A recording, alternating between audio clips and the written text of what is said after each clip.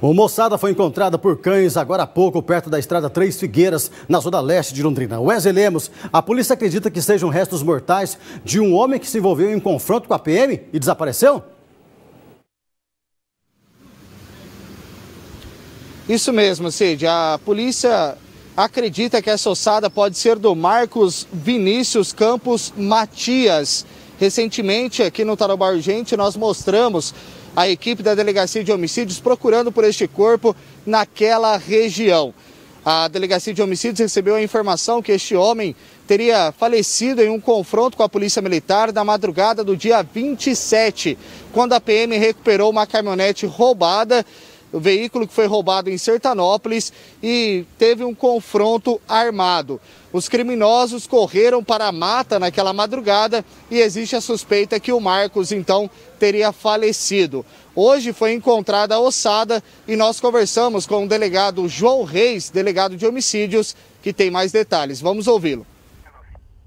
O morador da residência aqui percebeu que o cachorro estava trazendo partes, partes e foi verificar que são partes de, de, de um corpo. Nós até acreditamos que seja a pessoa que nós estamos procurando aqui na, na região, porque o fato ocorreu aqui próximo. Ah, então nós acreditamos que, que possa ser.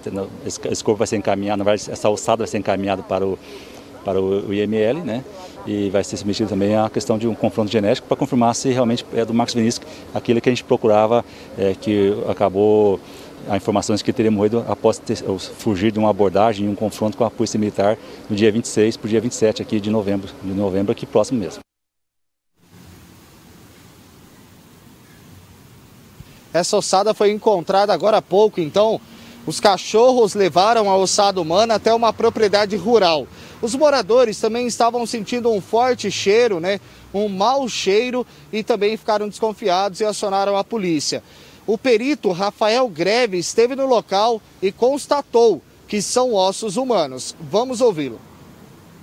Fizemos a, análise aqui mais superficial dessa ossada, é, identificamos ali uh, características né, uh, de, um, de, de, uma ossada humana e que foi recolhido é, para o Instituto Médico Legal, onde será possível realizar uma análise mais aprofundada né, das condições é, dessa cadá desse, desse cadáver, né, dessa ossada, é, o tempo de morte uh, e também informações com, com relação ao perfil genético, para que seja posteriormente uh, realizada aí as identificações necessárias.